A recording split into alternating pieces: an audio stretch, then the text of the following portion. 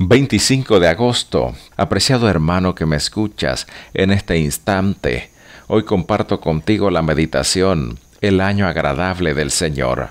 Lucas 4, 18 y 19 nos dice, me ha enviado a pregonar libertad a los cautivos y vista a los ciegos, a poner en libertad a los oprimidos y a predicar el año agradable del Señor. Vamos a meditar esta mañana en dos pasajes de la Biblia y tratemos de encontrar la frase que lo diferencia. El primero se encuentra en Isaías 61, 1 y 2.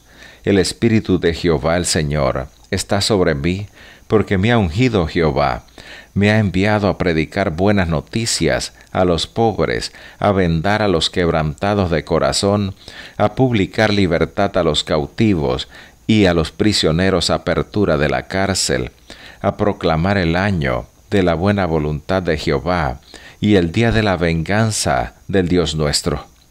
El segundo se encuentra en Lucas 4, 18 y 19. El Espíritu del Señor está sobre mí, por cuanto me ha ungido para dar buenas nuevas a los pobres, me ha enviado a sanar a los quebrantados de corazón, a pregonar libertad a los cautivos y vista a los ciegos, y a poner en libertad a los oprimidos, y a predicar el año agradable del Señor.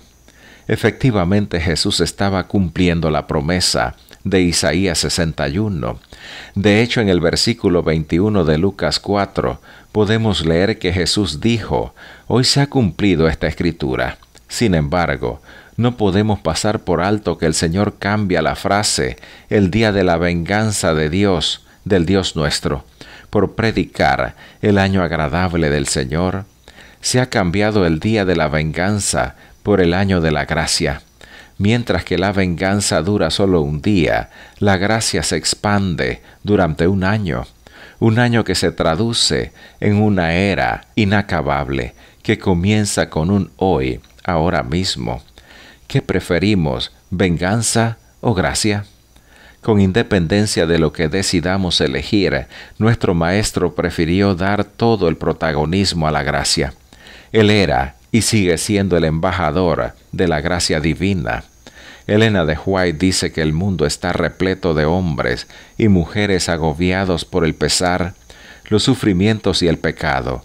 Dios envía a sus hijos para que les revelen a aquel que quitará el peso y les dará reposo. Es la misión de los siervos del Señor ayudar, bendecir y sanar, ayudar, bendecir y sanar. Para eso existe su iglesia, para que el año agradable del Señor sea una experiencia auténtica en todos nosotros. Que esta misión, como siervos del Señor que somos, sea una realidad en nuestra vida, hoy y siempre. Que Dios te bendiga, apreciado amigo oyente, y te espero mañana para compartir una nueva meditación.